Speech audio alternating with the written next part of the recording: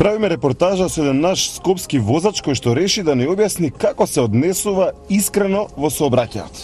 20 години возам јас низ скопскиве улици и сега ќе ви покажам како се однесува скопски возач фраерче. Фраерче. Што е многу битно. Што? многу битна работа е пепелјара, нели? Имаш пепелјара, е веро. Така? И пепелјарава пуна. Тоа. Или на семафор, или вака кога тргнуваш, и джамп. Апа! Изрезаш пепелјара празна, молим, лепо. Празна. Лепота, бе, братче, бе. тоа е тоа. Втора ситуација скопски шизик како вози, хрклюш. Хрклюш. Значи, Така. се обидаш шо поишеш лајм. И отвораш. Значи, нишаниш малце горе, Леле, го залепил не позади. Шофер шајбра, так. И он се нервира. Он пизди, а јас Леле, сум среќен, мислам сум го зезнал, ти текнува. Да. Не, тоа е тоа. А Многу битна дали кога врне, внимавате да не го навлажните пешакот, луѓето, а? Нема шанса тоа. Знаеш ја шо правам? Ја, на пример, возам втора, така? Така. Втора е полека. И гледам се, врне како денеска што врнеше. Трета, шибам, турирам, идам скроз до крај десно, шљас, бабко, бања бе, мајка шо бања, брат. Браво. Не пошто е тоа пешаци, уопште не ми интересира бе тоа. Јако, јако. Па да, А дали е како треба да се однесувате? Смирено или нервозно во сообраќајот?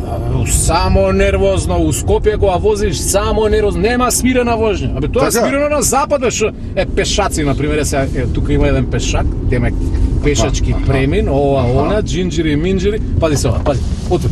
Каде бе рати? Па каде одиш бе? Кај одиш? А кај одиш? Ш- Што? О, не гледаш дека е пешачки. Абе каков пешачки бе? Кој пошто е пешачки бе да ти се плукам 21 век? Се заебаваме се. Абе се зезам бе. Ама се зезам бе човече. Помени, помени слободно. Помени ме, помени. Помени бе, абе помени да Оп, оп! Срце, а? Кажеш ти срце ќе Абе, а? сени тамо кој е срца и здраво. да. Разбираш, со пешат и за овака треба. Браво, браво, добра финта. А има ли некоја друга скопска финта, скопски шофери што ги практикува? многу битна среден прст, знаеш, да се не каде бе, да, цело време му збориш ово, ово, Да, да. А видиш некоја женска згодна ова. Еј, Дунда, шо правиш во вечер, а? Сега да прошетај малце. Значи успореш, така? Да, да, успореш. Она убрзава, ти убрзаваш, Цак, и ја пратиш до дома. И фактички знаеш кај живее после. Многу битна работа, знаеш те што е битно, мислам за нас скопските фрајерски возачи. Што? Нервоза шириш. Нервоза.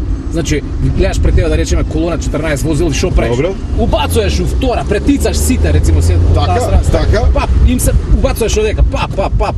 Аха, и он се нервира, псуе, ми псуе ми ја, ти рака, и се шо, нема проблема, така. Ги кочиш. Почува па шо, фала Бог. И уште една работа што сакам да ја кажам, значи гледаш семафор, Добро. ја да речеме семафорот е онамо на 20 метри, Така. зелено. Знаеш што правам? Полека. Свират од позади. Полека, ја полека, бе, живее пред нас. И само доаѓам до семафор, се пали жолто и одма. Опа, убацам, ја поминувам, тие позади мене не поминуваат, брате! Ја, романтика, еј! Значи, со други зборови да сте прав скопски шофер треба да сте провокативен, Тачно. максимално безобразен, Тачно. дрзок Тачно. и да не почитувате никого и ништо, така? Точно така, точно така. Него слушај. Ја и ти да си направиме уште една забава, што викаш, да испрскам уште двајца тројца пешаци, а? Па ова е многу јака сава, Ајде, идеме. Вози, мајсторе! Држ се! Охо!